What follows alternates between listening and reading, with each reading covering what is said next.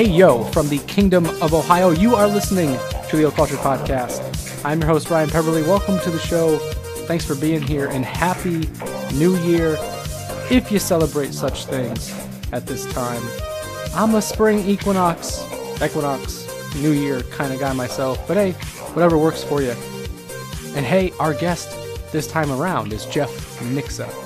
He's a shamanic practitioner, teacher, and author of the book The Lost Art of Heart Navigation, a modern shaman's field manual. Jeff founded the Great Plains Shamanic Programs back in 2010. Those are an array of counseling, healing, and education services, including one on one fire talks, seminars, university classes, outdoor retreats, and wilderness trips.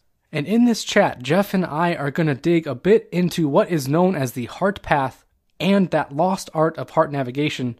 Basically, that's taking wisdom from ancient shamanic traditions and using it to teach ourselves how to follow our hearts so we live a more satisfying and more fulfilling life. And despite what I just said about my personal New Year celebration, I think it's a great chat for this time of year when many of us are looking to make some changes in our lives. And it's a great companion to that last episode of 2018 about the forgotten art of love. Now, I was under the weather a bit when we recorded this. I think I had some of what Jeff calls hurry sickness, just working myself silly into a state of dis-ease. Regardless, this conversation is, well, it's fucking poetry on tape, I think. Yeah, I said tape. I'm an analog dude, and I'm not the least bit ashamed of it. Anyway, I do hope you enjoy this chat, and I hope you get on the Patreon to hear the extension because it's well worth it. Jeff Nixa is in the house to get us on the heart path right after this. The time has come to unshackle the beast that you have feared for so long.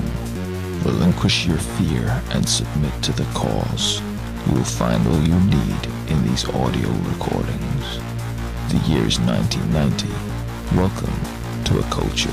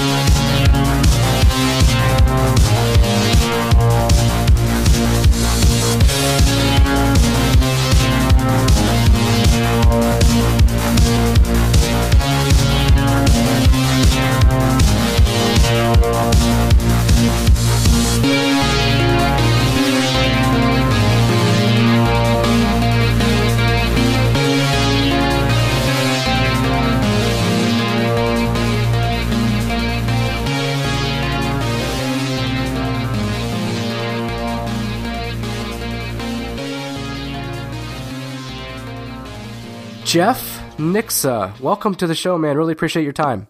Thank you, Ryan. I'm looking forward to our time together this evening. Absolutely, you and me both. So, you know, Jeff, you have a a varied academic and professional background that has curiously led you to where you are now as a full-time shamanic practitioner.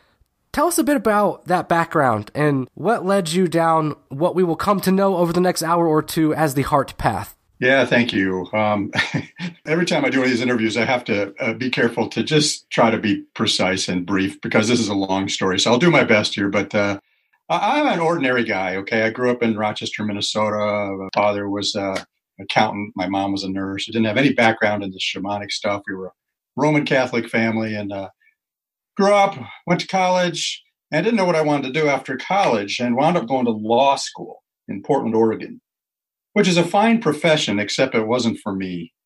And I knew that almost instantly. I'd gone all the way across the country, you know, taken the entrance exams and paid the fees and moved and quit my job. And, uh, and I just had this feeling in my gut, like within hours, if not days, uh, in those first classes, the first week of law school, that this was just not what I thought it was going to be. And, uh, and, and, and I was like, oh my God, because I, you know, invested so much and and I didn't know what to do because it wasn't like there was something else that I really wanted to do.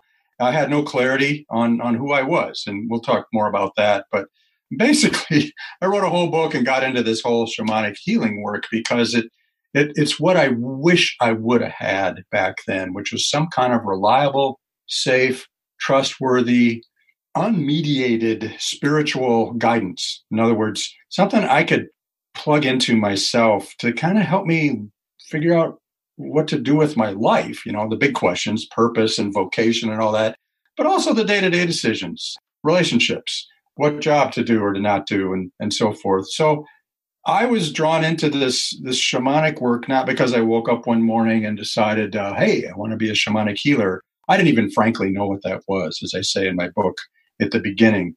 But there were aspects of it that just instantly rang true for me, which was what I was missing all the years prior. For example, a deep connection with nature. I just have a great fondness for nature, as a lot of your listeners do.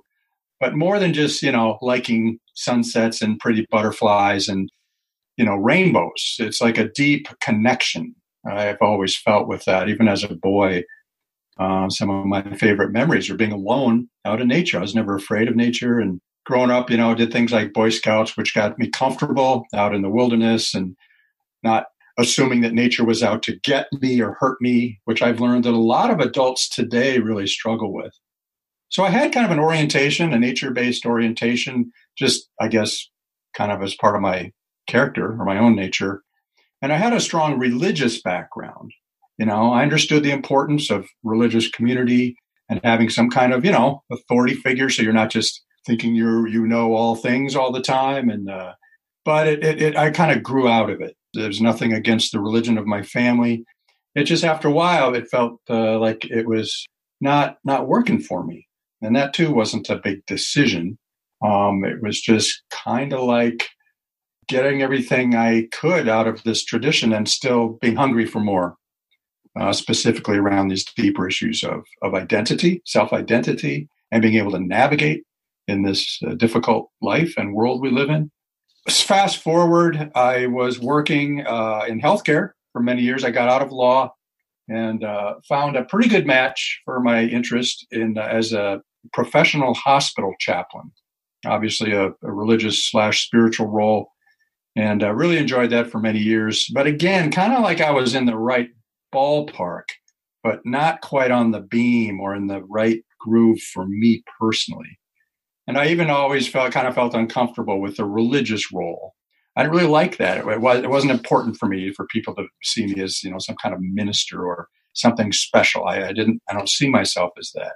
And still, it did not have really, frankly, much to do with nature. The traditional Judeo-Christian popular religion is is really kind of, uh, for lack of a better term, dissociated in a way from nature. It's certainly in the sacred texts and in the stories of Jesus and Old Testament, but in day to day practice, you can be a good Christian and not really care about the earth. Was my experience. In other words, uh, I never heard a sermon once in my entire growing up on nature or our duty to steward the earth, as opposed to our duty to take care of fellow human beings and you know mind our own manners. And i know that's not an intentional thing on the part of the tradition but it's just another example of how for me personally there was always something missing having to do with our relationship with all living things.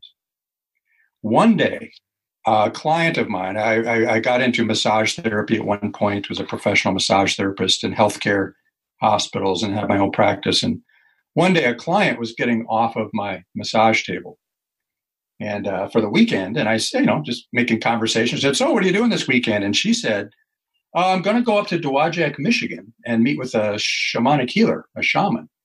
And there was this silence on my part i'm like a shaman? You mean like a medicine man? And she's like mm-hmm. yeah kind of he's a he's a psychotherapist professionally but he's a, a man with a cherokee Native American background, and he's integrated those two things. And man, that's all I remember her saying because there was something about that that just woke something up in me. And I'm like, man, I got to call this guy, whoever he is. Didn't even know why. I called him up. His name is uh, Michael Smith. Uh, he's a he's a world renowned shamanic practitioner and Jung scholar, Carl Jung. Michael is an academic and clinical psychologist. Uh, he was leading a traditional vision quest ceremony that very summer, a couple months from when I met with him. And I sat down and met with him uh, in his little woodsy property in this little cabin out in the woods. And in the process of that conversation, he turned to me and I had told him all about my struggles with everything spirituality and vocation and yada yada.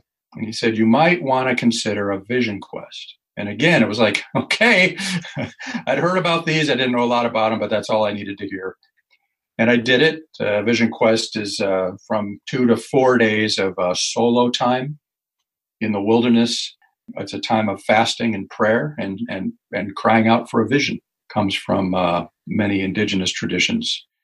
It is a week long structure. You start with a group of people who are also going through the same process, a lot of introductory stuff and ceremony and getting people ready, and then we headed out. And at the end of that time, that solo time, I was alone on a beach in um, on an island in northern Lake Michigan, and the sun was setting. And just as the sun, just as the red ball of the sun touched the horizon of the water out there in the west, this vision came to me, and it was very simple. It was one word, but uh, if you imagine someone tapping the side of a crystal glass with a, a knife, you know, like at a wedding ceremony to get people's attention. It was like, ding. And the word that came to me was simplify. Simplify. It wasn't a word that I heard audibly, but it was a deeply felt sense that of all the shit I was struggling with, cluttered life, multiple jobs, a mother who was struggling with uh, Parkinson's disease, and a lot of stuff I was doing. I was a president of a volunteer bicycle advocacy coalition in our region. I was doing too much and I couldn't see it. And the vision was simplify. And I, I understood it instantly. And again, fast forwarding, I kind of came back from that week just on fire to drop unnecessary commitments in my life in a, in a healing way you know. And so i got home and i got on my computer and i started sending emails out like crazy resigning from this committee resigning from that program. And i pared my life down in a matter of hours to the core need of course to attend to my mother and then my one key job at the time in healthcare. And uh, man that changed everything because that experience out there and realizing how i somehow needed that kind of nature-based immersion. And we would say an initiation experience traditional initiation of soul to be able to see what was kind of in my face all along, but I had too many layers of distraction and busyness and hurry sickness, like our whole culture does. And uh, this this gentleman, Michael Smith, was turns out I didn't know it at the time, but he was leading an ongoing shamanic apprenticeship program, and I jumped into that. Involved a series of weekend trainings and workshops and things over a period of years, and uh, I did more training and more wilderness programs, eventually ended up assisting him. Also studied with Sandra Ingerman. And, and I probably said plenty to answer your question, but the point is, it was kind of I backed into this work, but it all felt right and it was all kind of nicely uh, guided, you know, like I was being supported throughout this. And, and now I'm just trying to share this uh, medicine, as I call it, with others.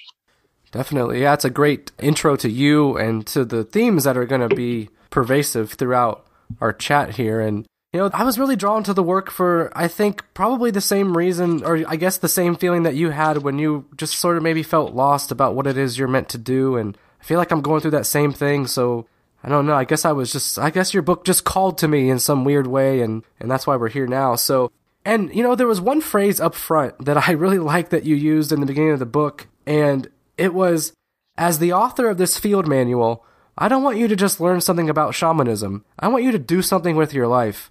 And I think that that sets apart this book from a lot of other books like it or a lot of other, you know, how-to books about any sort of occult or esoteric topic. You see a lot of these introductory texts to, to magic and, you know, this, I don't really get the, the impression that people care about how I use it, but I really got it. Well, I guess I have to, you know, I'm going to use a little cliche here. Got a real heartfelt sort of vibe from your words here.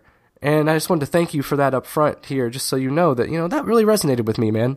Oh, thank you, Ryan. I uh, really appreciate you catching that because I, this work, I'll just kind of get on the soapbox just for a moment. In my study over the years and my work with other people who are drawn to this work and seeing how other people practice. And this kind of work draws out a really funky array of people, of course, because it's not exactly a regulated profession, you know, like medicine or or ministry work or something. It's anybody can do this.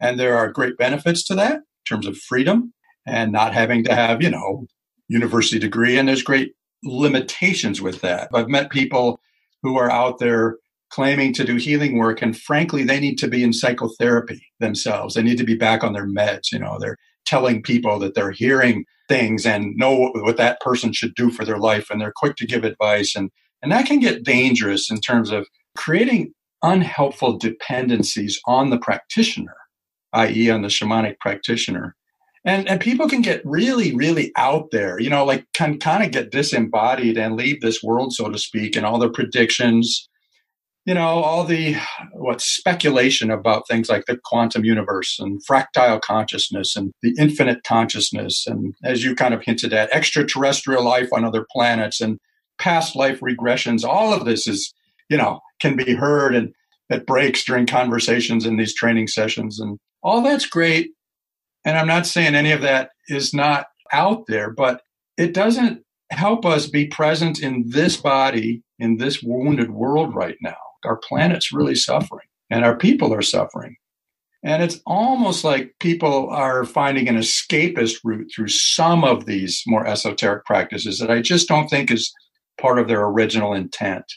The original intent was to help heal people, integrate their lives, enhance their relationships right now in the so-called tribe that they're in and not you know send them off on speculations about what might happen in the future or another solar system. So it's a balance.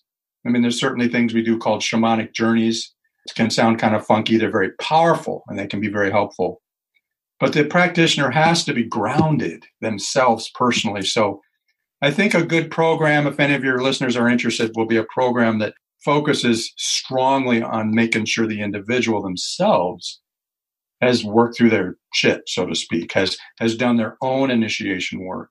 And all my good teachers have emphasized that that you know, we have no business going out there claiming to be healers until we have healed ourselves first.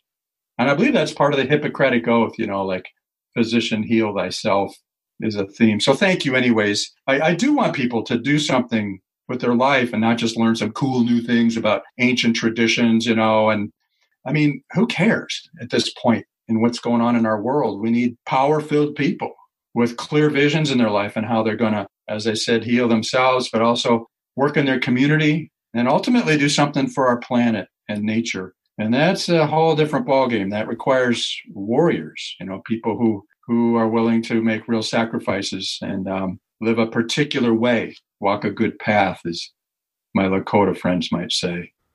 Absolutely, man. I uh, I feel that disconnect, man, between myself and nature too. Especially this time of year when you know mm, you're, yeah. you're, stuck indoors more and you can't see the sun as much. It's just depressing yeah. on some level. But once I woke up to that, that I was disconnected from those things, I have have made it a a priority in my life to go outside more and just just sit. Like I don't have to do anything, you know. I just go and I just sit and I just kind of just yes. absorb the environment around me. You know, it's pretty cool actually. Yeah, thanks. Yeah, I mean that's actually about a third of my book. What I guess I would call the more innovative part, where it's not just me trying to collect solid teachings that I've learned along the way from others, but is a real focus on mindfulness in the present moment, the importance of being grounded in actual nature. And a little aside there, there's a, a phrase I heard in my training called hotel shamanism. And what that refers to is, you know, you can find shamanic healing courses in any big city, workshops, weekend retreats, and so on. And a lot of these take place in, you know, like conference center settings, whether it's a beautiful retreat center or some hotel in the downtown inner city or big city. And it's all fine, except you can go through an entire training program and never actually set foot out in nature. It's kind of bizarre. and yeah. I think innocently and unconsciously, the, those teachers are replicating the problem you know, teaching people the importance of getting in touch with nature spirits and never actually getting out in nature just seems kind of odd to me. So in my programs, I've tried hard to always have some, even if I am in an urban setting, get people out in the parking lot at least, you know, in the fresh air and the sunshine or the rain or the snow or the wind. It's all can all teach us. Absolutely, man. And you know, let's get into some of that shamanic psychology. Uh, you mentioned uh, Dr. Michael Smith earlier. He actually wrote the foreword to your book. He had a good quote up here that said the shamanic heart psychology teaches us that the intellect has no idea what we are here for or what we really want. And then later on, you say that there are two paths that we follow the mind, you know, the path of the intellect, and the heart path. And the difference between the two, I think, is probably fairly obvious if you think about it. But give folks a, a brief, you know, sort of Cliff Notes version of how these two paths really differ from each other. Yeah, thanks. So we live in a highly rationalistic society. And it's kind of heartening, actually. There's a lot more sort of popular conversation about this whole thing you just asked about in modern media. And so I think your listeners will know basically what we're talking about here. But we are immersed, we are embedded, you and I, in American Western dominant consciousness, which we don't think about, it's just there. But what that consciousness is, it's it's a heavy preference and orientation toward using our intellect to solve our life problems. Right? So if I'm in college and I don't know what to do with my life, our culture says, well, here what you do. I mean, be logical about it. Do some research, find out what careers are out there, which ones pay the most, where there's the most jobs, which have the best 401k retirement plans, the best opportunities for travel, et cetera, et cetera, right? Like a rationalistic, just sort of go find out there the best lineup of goodies that you can get for your life that, you know, of course, would use your particular talents but that's actually not a big emphasis, in my humble opinion. And so this is how we lead our lives. This is how we find a partner on the internet sometimes, trying to, you know, match all the attributes with the attributes we're seeking. And it always ends in frustration and a sense of unsatisfying results because nothing about this approach connects with our authentic inner core self, which goes by many names our soul, our heart, our core of aliveness, our center, capital C, center. Doesn't matter what we call it, but it's that sacred spiritual part of ourselves that even religious people often know nothing about, having participated their entire lives in communal ceremonies and worship and Bible studies and reading sacred books. But no one has ever helped them sit down and go, hey, here's your particular manifestation of the sacred, whether you call it Christ consciousness or Buddha consciousness or spirit in a shamanic sense.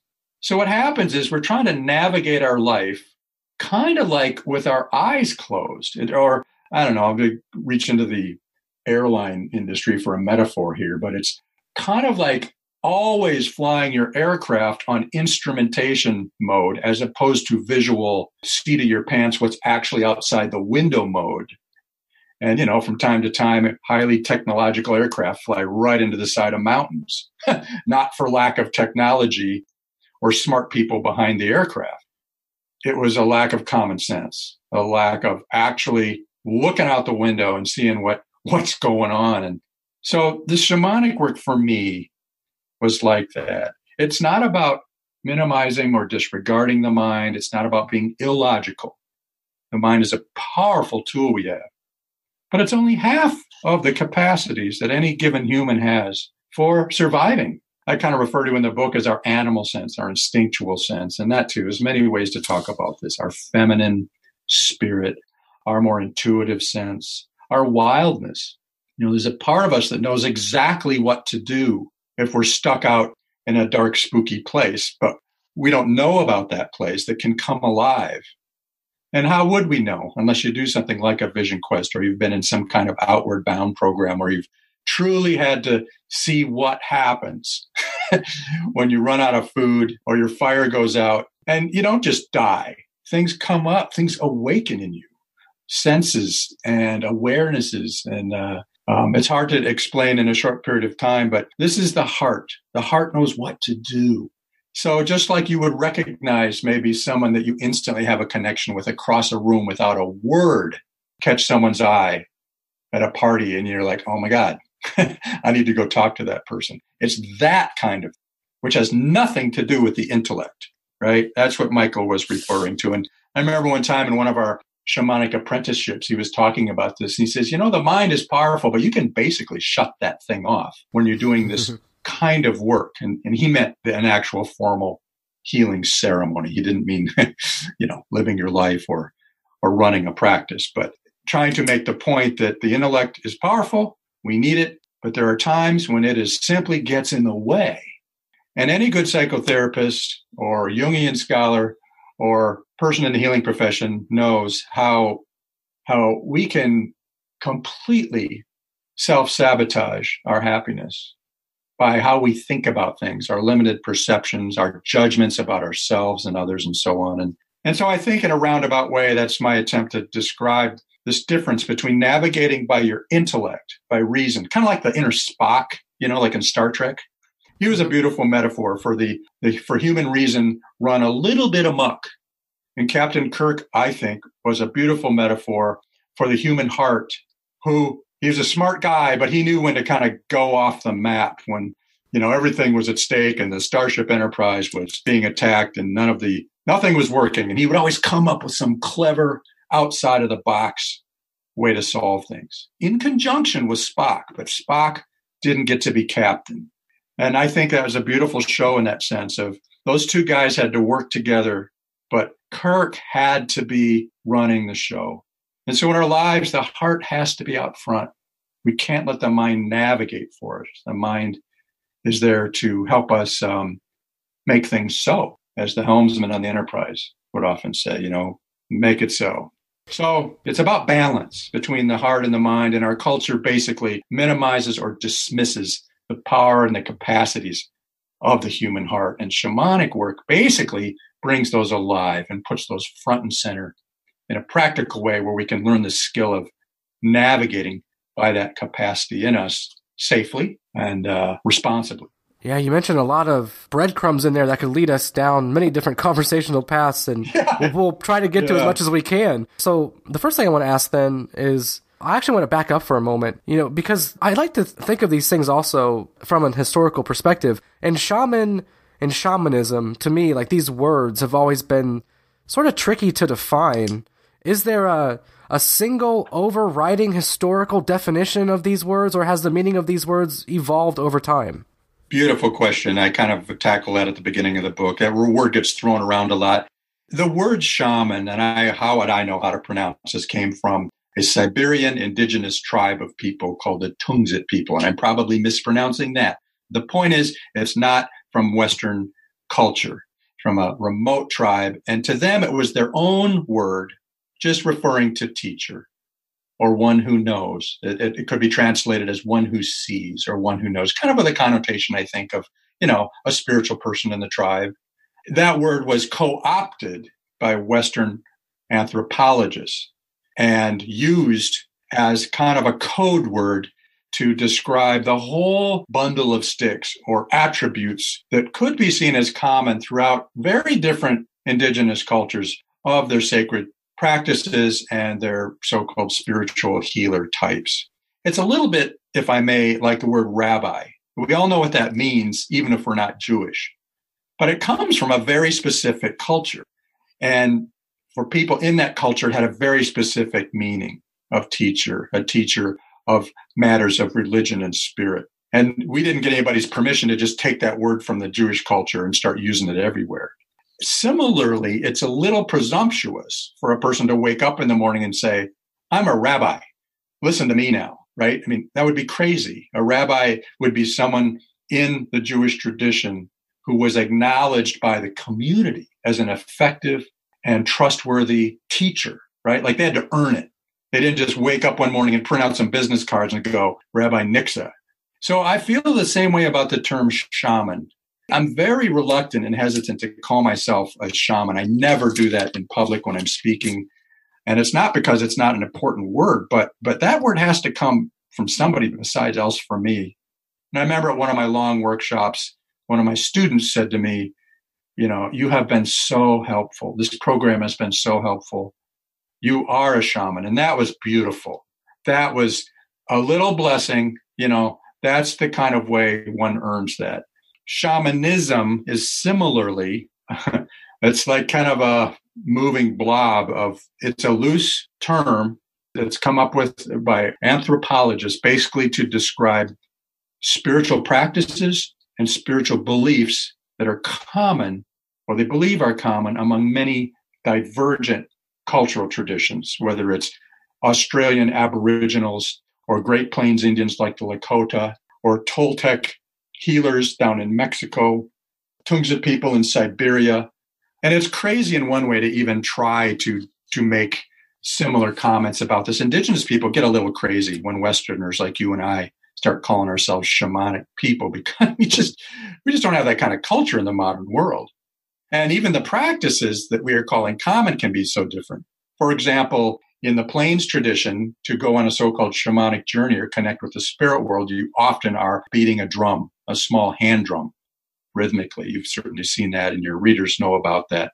But if you go to Tibet or Mongolia, a person's going to also maybe be beating on a small hand drum, but they're going to be dancing around and throwing yak milk around and shouting chants, and there may be dissection of animals to look at their organs. So, quite a divergent process. And in South America, another example, often will be using plant medicine, psychogenic plant medicines like ayahuasca in the jungle to reach these states, not drumming, in other words. So each culture had its own way of entering the so called spirit world to do the healing work and discern the information there. So it's a it's a useful term just in a general sense, but it also has great limitations, and it's kind of the best we can do as Westerners to talk about these ancient and still existing, in some cases, spiritual traditions that are so deeply rooted in nature. Thanks for taking us through that. And I'm going to go back to the heart path now, connect back to that portion of the chat. What are the feeling tones of the heart, and how do we better tune into them? Yeah, that's a term I got from my first teacher, Michael Smith. It's it's a word to try to describe something that can't be seen or measured. You know, it's kind of like love. You know, like what what's that? You know, you know it when you feel it, but go ahead and try to prove it to a scientist. Yeah, you know, I remember in my theology training and psychology training, I think the closest that psychology could get to defining the word love was something like sincere tokens of unconditional regard, unconditional positive regard. You know, it's like, how clunky is that? Trying to describe what any normal person without too much education would call love. So the heart path and the heart tones, it's a similar challenge. It's there, it's real. We can lean on these things, but how do you define them? So I'll, I'll lead your listeners in just a very brief little exercise here to rather than try to explain this. These are our feelings, not simple emotions. They're deeply felt, body connected feelings that help you know what you like and what you don't like, what you're attracted to and what you're repelled from. A little bit like if you were going to a restaurant and open a menu that had a whole array of cultural foods, right?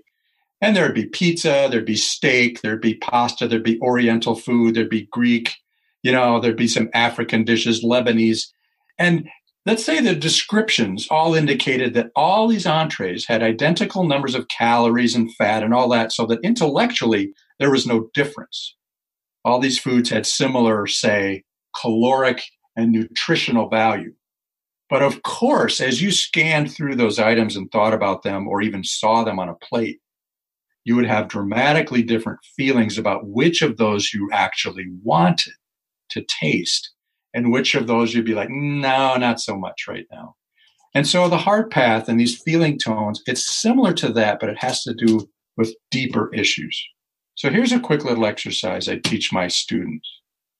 If you close your eyes, take a deep breath and just sort of clear out your mind from all this talking I'm doing, kind of go to a, a blank screen and then just imagine a person, a real person that you know, that you just love to be with. Someone you love to be with. And imagine that you're in a grocery store, perhaps, and you see this person coming around down the aisle towards you. And how you would feel. Oh my gosh, I can't believe you're here. And imagine that person coming towards you and get clear on what you're feeling in your body as you see that person who you just love to be with. Maybe you haven't seen them for a long time. Maybe you have. The point is the connection that you feel, not an intellectual thing. And just for a moment here, as that person, you picture them in front of you clearly, like right there in front of you. Notice their face, their smile, any little mannerisms they have, their aroma, they wear perfume or cologne, what their hairstyle is like, their skin. Imagine them embracing you. And as you're doing this, get clear on what you're feeling inside your own body. And where are you feeling it? Is it in your chest, some kind of openness? Is it in your shoulders, just sort of relaxing? Is it a simple warmth that's not really anywhere, but it's everywhere in your body? Whatever that is, a sense of light, you know? So just enjoy that for a moment, having that person you just love to be with or would love to be with. And then a big exhale, big in breath, and blow that person completely out of your imagination. Go back to the blank screen, so to speak. And now I want you to imagine a person you can hardly stand to be in a room with, a real person who you know. Same thing. You're at the grocery store. Maybe you see them coming around the corner down the aisle toward you, like, uh oh. And imagine that person coming to you, maybe person who's hurt you, or is just, you know, you've got some history there. And as they get close to you and stop in front of you, you notice their face, their mannerisms, their aroma, what they're wearing, and so on. And as you're doing this, notice what you're feeling in your body, your own body. What are you feeling? Where are you feeling it? And without judgment, this isn't a test or a judgment, it's just getting clear on your way of perceiving this person. Your way, nobody else's. Then take a deep breath in and blow the imagination of this person completely out of your consciousness and your imagination. shake your hands, shake it off. And just for fun, we'll leave you with that first person. So one more deep breath in. And imagine that first person, real person that you love to be with, now back in front of you. you might say, Oh my God, you wouldn't believe who I just saw.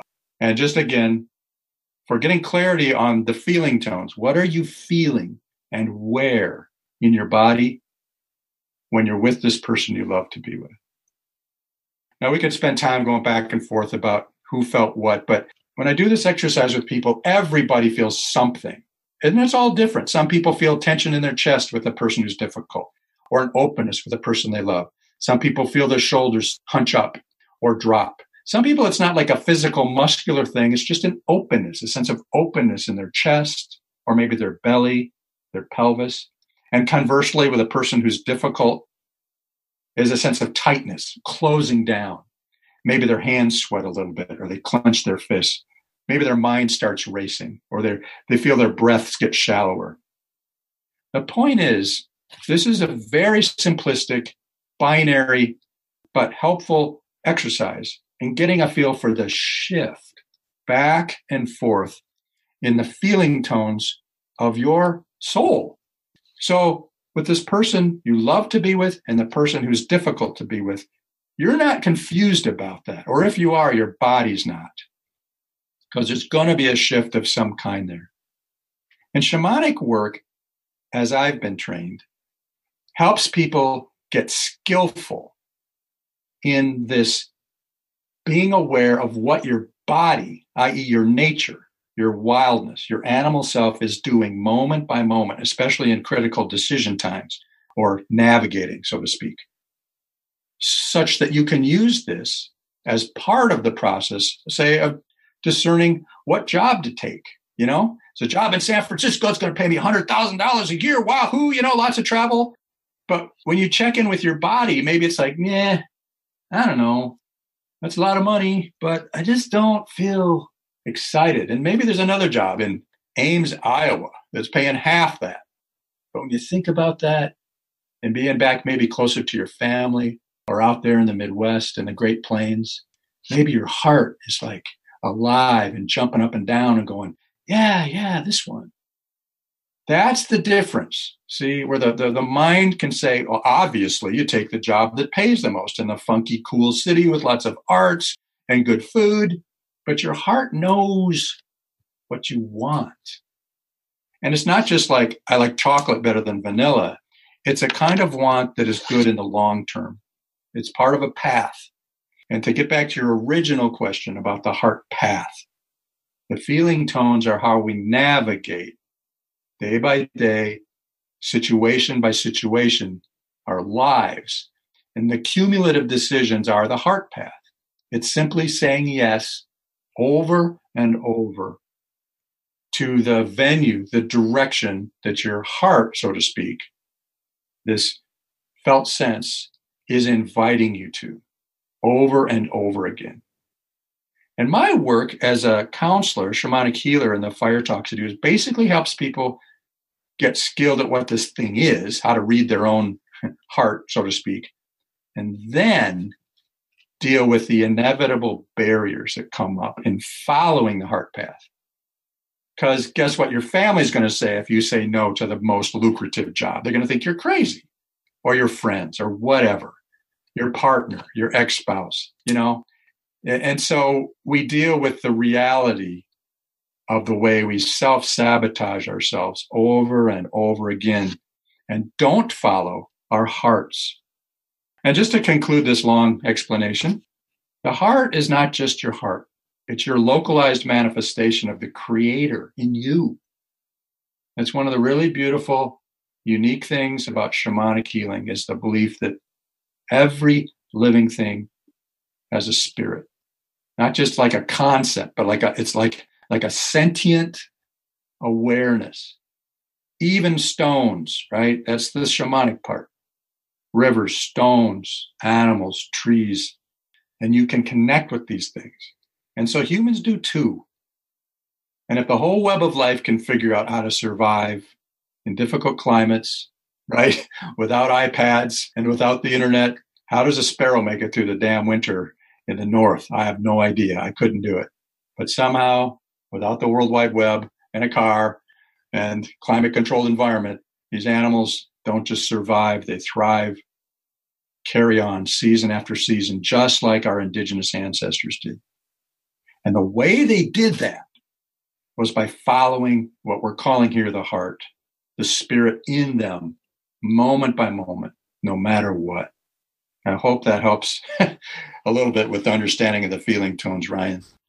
Uh, I think that was a great explanation. I was doing the exercise uh, with you as you were talking through it, and yeah, man, when you got to the uh, to the part about envision somebody who you don't like being around, my shoulders immediately tensed up and mm, yeah it, yeah it was very obvious like what that feeling is you know when you really put yourself in that moment so thanks for doing that to follow up though on what you just said what's the difference between following your heart and being selfish because i think that that would be a common criticism of you know somebody who does make a choice for themselves to put themselves on that heart path that they would be considered selfish by some other people who maybe don't quite understand that but what's the difference between the two Oh, beautiful question. Thank you. I, I'm really liking this interview because you're really getting to, I think, key questions in this work that I don't think get addressed well in a lot of situations. Um, so this is something that I that surprised me.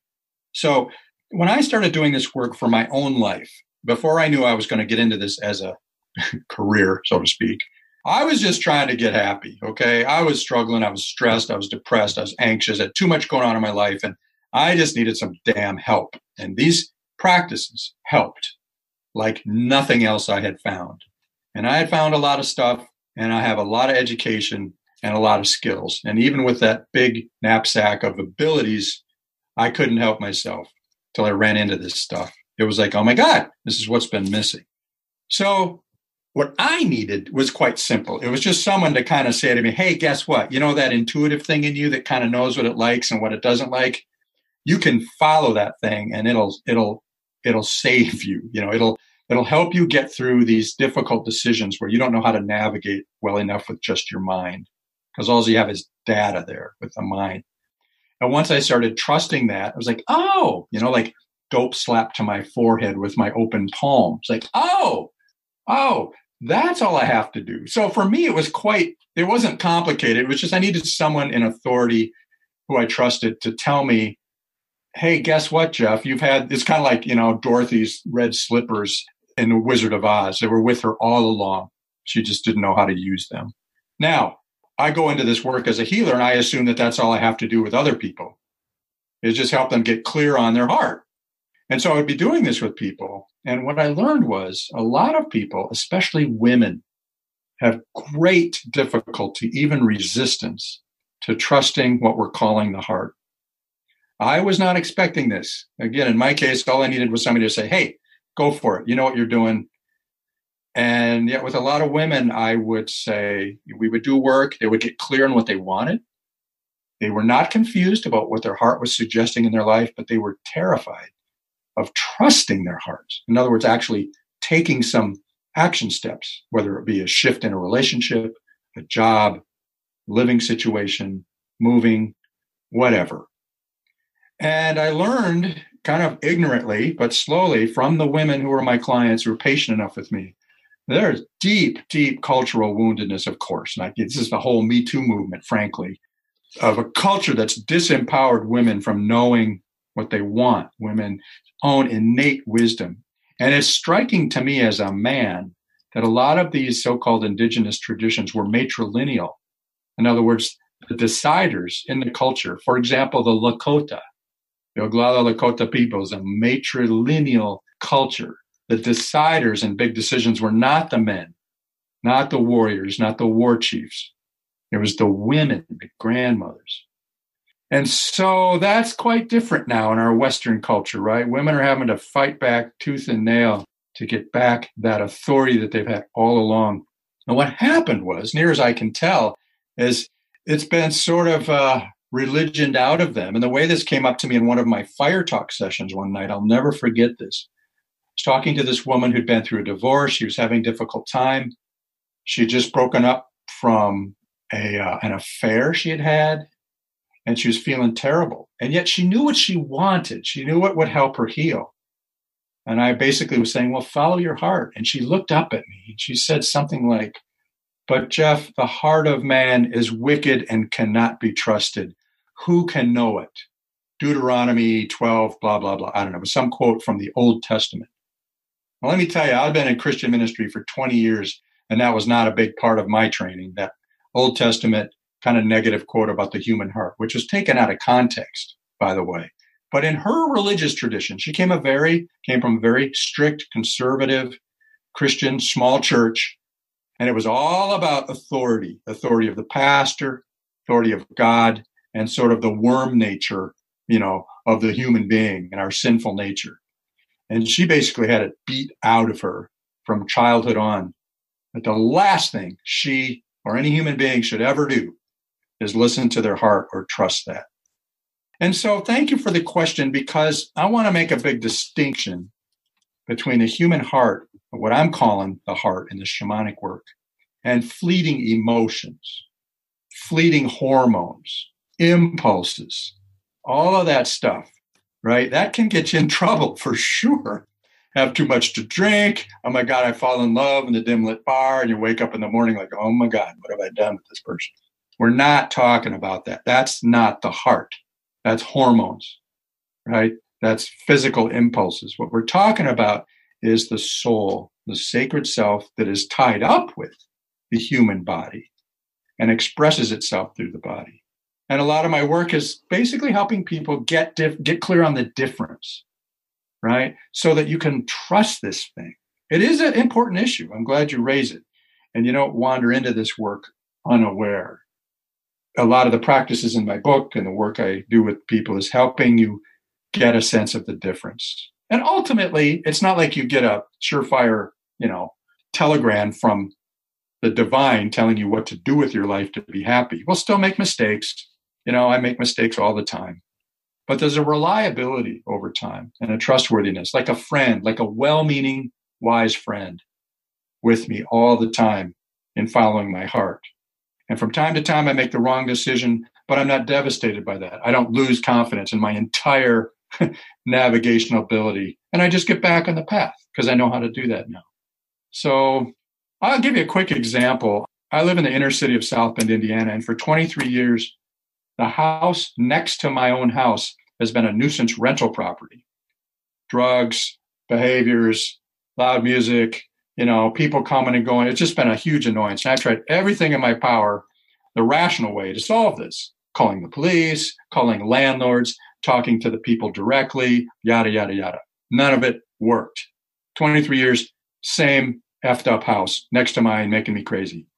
There was something deep in me that's going, man, I just need to buy that house. like, what?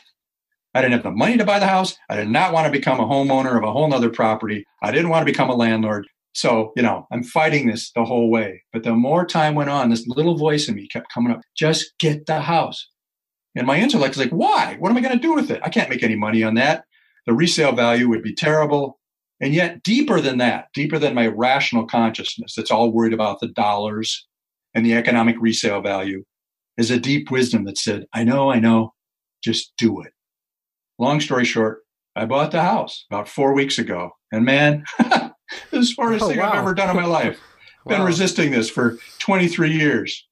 And I bought the house and it's a mess. It's a pigsty. But instantly, overnight, of course, the nuisance behavior stopped because I was able to evict these most recent tenants. I found a little housewarming gift in the drop ceiling above the tub. They left for me, which was a full clip of semi-automatic 40 caliber long rifle ammunition oh. which confirmed for me these weren't just Boy Scouts in there, you know, smoking a little weed with their friends. They had a full scale, serious drug operation going on right next to my house. And that was a damage to our entire neighborhood. And so I had to make a big financial sacrifice. I still don't want to be a landlord. I'm doing a lot of work on the house. And I frankly don't know what I'm going to do with it, whether I'm going to sell it or rent it. But it's like it doesn't matter because I did what needed to be done, something bigger than me for the community. And it brought some instant relief. And now I've got time and some control. You know, I, I think, I hope some healing for the neighborhood and this cycle of, of nuisance properties and tenants over the years. Man, that's beautiful and uh, quite a housewarming gift for sure. So you did mention something yeah. there. That you did, you did mention something there. You mentioned resisting or resistance in that that answer, and it's actually my next question because you asked a question in the book. What happens when you start making actual changes and moving forward in your life? And then you answered that same question with one word: resistance. And that can come from a few different sources. You know, friends, family, yourself too. So, what sort of advice would you have to help us better handle this resistance when we encounter it? Yeah, thank you. This, yeah, this is again one of those things that I wasn't really fully prepared for because I thought all I had to do was help people get clear in their heart, develop a vision, so to speak, is what we call this in the indigenous vision questing, clarity on what their heart wants, and then you know you're off and going. It's like, oh, now I got the roadmap. I just need to start driving. But what happens is when you start driving, barriers come up, and that's the resistance. Certainly from other people. I mean, you know, if you've ever tried to make a serious change in your own life, instantly you're going to hear about it from your friends, family members concerned about, you know, are you crazy? Are you sure about this? Is this smart? Maybe downright negative resistance from others. And that's difficult and that is real and that is no game. That is difficult. And that's why a lot of this work is often referred to as the path of the warrior. You know, because you got to be a fighter for your heart because no one else on this planet is their job to follow your heart path. And so you have zero people who are as invested and have as much at stake as you do in following your heart. You simply are not going to get a lot of people standing around in a circle applauding you and going, God darn it, Ryan, it is so great you're following your heart now. It's going to freak out people. Anytime we make a serious change in our life, it rocks the boat in a domesticated culture that we're in that most of the time is living asleep. We live our lives based on a couple key principles that we don't think about, but that are very real and also no game. And those principles involve security and safety, financially, emotionally. And if your only goal in life is to stay secure and safe and not take risks emotionally, financially, personally, you're never going to leave the house, so to speak. You're going to keep the same stupid job year after year because at least it's a paycheck. You're going to put up with the same stuff from your coworkers, your boss. You're going to stay in the same relationships. And nothing's going to change because you're frightened of what might happen. And, you know, we don't know what's going to happen when we make change. So the resistance from others, people pick up on that and it, it, it shakes their reality. It, it interferes with their stability when you start making changes in your life. Now, the more difficult one, though, is self sabotage. It's bad enough the resistance we get from other people and just kind of needing to do what we need to do. But much worse, of course, are the voices inside us, the negativity, the judgments. Oh, I could never do that. This book that we're talking about that I wrote, The Lost Art of Heart Navigation. oh my God, you know, all the voices in me, I'm sitting down like, I've never written a book. How can I write a book? There's a ton of books out there on shamanic healing already by people much better well known and trained than I am, like Sandra Ingerman and Dr. Smith and so on, Michael Harner. Who am I to write, et cetera, et cetera, et cetera. I'm surprised I even started writing the thing. But fortunately, I had the tools and kept grinding ahead, but every step of the way. Yeah, Jeff, is this a good use of my time? I had to take time away from work. I saw fewer clients and the time it took for me to actually sit down and do the writing for a year. So, just one example there of, the endless ways we talk ourselves out of or scare ourselves out of making needed change in our lives. And that's the resistance. And I guess the point is is not to be surprised. Expect it, I say in the book. Expect it. And the fact that you're worried or not sure how things are going to work out when you're trying to change your life in a good way doesn't mean there's anything wrong. And that is a radical idea in our culture because we're taught that if we're upset or unhappy or worried, there is something wrong and it's usually somebody else's fault. So go get a lawyer and get some money. But in the in the heart path, you have to it's like you set course out at sea in your ship of your life. And guess what? It's not always going to be sunny and winds at your back. There's going to be storms, wind at your face. Sometimes that boat's going to flip and you're going to be underwater and come back up and you've got a mess in your hands. And the fact that that happens doesn't mean there's anything wrong. It just means you're at sea. It's the nature of the journey. And a skilled sailor, following this metaphor, doesn't freak out and go back to port when they run into a storm. They just know what to do. Think, okay, here comes a storm, batten down the hatches, etc. Keep our heads down, drop the sails. Here's how we survive. And this will end. And then when the winds will come back, and we'll know what to do. So the heart path is a lot like that. It's not a, it's not a uh, bed of roses. In fact, there are periods of great loneliness in this path because it is like a journey. You're leaving the stagnant harbors of your life and setting sail on a path that only you have a track on. The good news is that when you're out there on the journey, you meet really, really cool people other adventurers, other sailors, so to speak, who have left the port, you know, of their own origins and are on journeys as well. People you didn't even know existed back in the safe, stagnant harbors back home. So expect the resistance. The fact that you feel it or get it from other people is not a clue that you're doing anything wrong.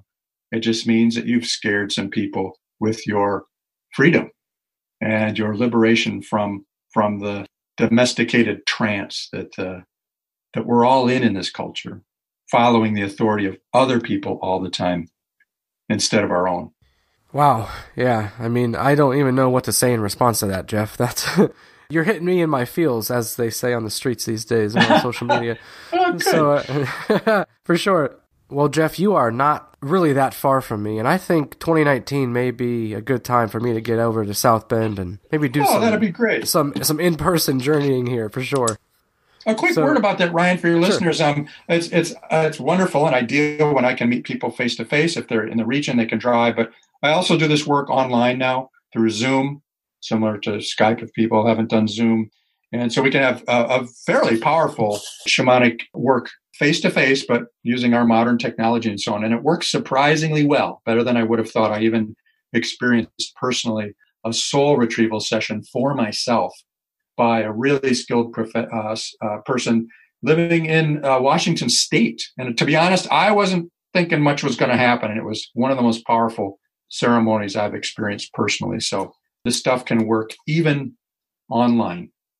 Well, tell people where they can find your work online, Jeff, if they'd like to keep up with you or get in touch with you, and also where they can find your book if they're interested. Yeah, thanks. I have a, a nice website I put a lot of work into. It's uh, will also work. That's greatplainsguide.net or .com.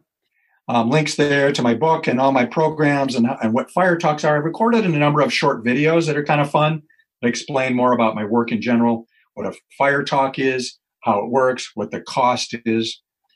The book, you can also find The Lost Art of Heart Navigation, a modern shaman's field manual, published by Bear and Company.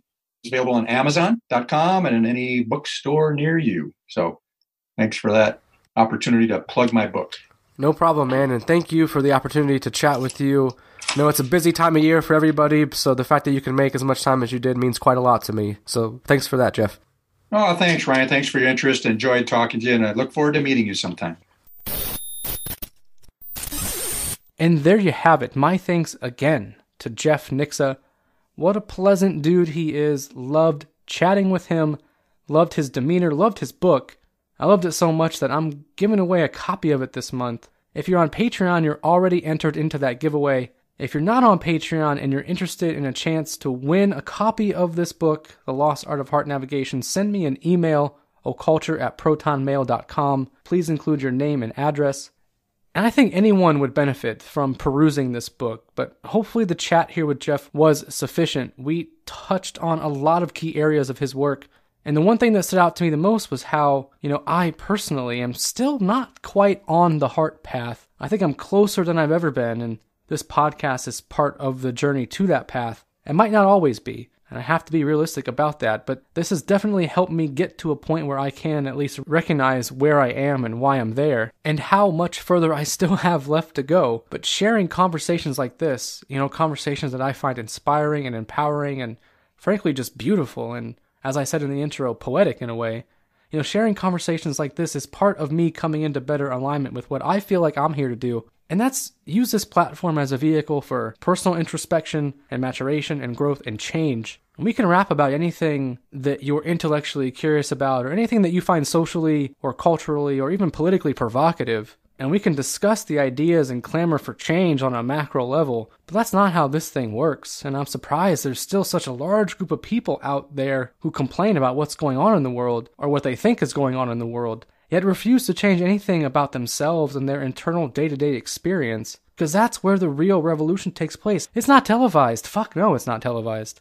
And it may seem like I harp on this a bit too much, and I probably do, but I only share this because of my own experiences. I could spend a lifetime trying to understand the actions of others, why what I see happening out there is the way it is, but if I have not spent any time trying to understand why I am the way I am, why I think the way I do, why I act the way I do, well, I don't know. That seems like a waste of the experience that I've been given here. So don't waste your experience here. We're all meant to do something great while we're here, and what that means will be different for everyone. What I'm meant to do here is different than what you're meant to do here, but we're all meant to do something. And that's why getting on the heart path is so important, at least to me, because if you're thinking about what it is you're meant to do, you've already failed.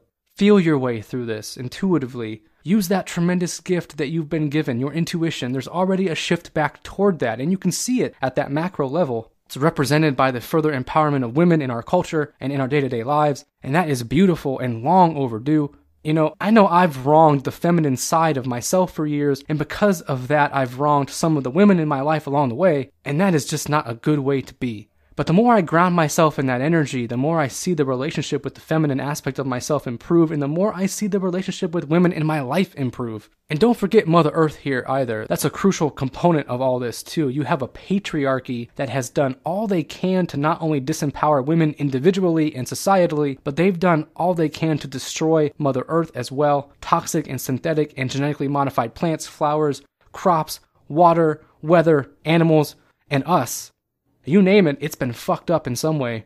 But the only way to fix that is to create a strong, empowered collective. And the only way to create a strong, empowered collective is to create strong, empowered individuals. And the way you do that, you find whatever it is that's truly missing from your experience here, and you won't have to look far. There's a reason they call it the magic mirror, because it really does give you the answer to life, the universe, and everything. Anyway, in the Patreon extension, Jeff and I talked about soul loss, soul extraction, and soul retrieval, dragons and dragon work, how to alleviate self induced suffering, mindfulness and the body's energy cycles, Toltec wisdom and shamanism, what dreams tell us about the heart path, and guided and unguided shamanic journeying. And a shout out to a slew of new patrons from the last couple weeks who hopefully enjoyed that extension. So, my thanks to Amelia, Justin, Chris, Dave, Mukio, Blake, Aaron, Paul, Leah, Orlia, Joan, Francis, and Jen, and a huge thanks to Raymond, who became the newest official executive producer of the show.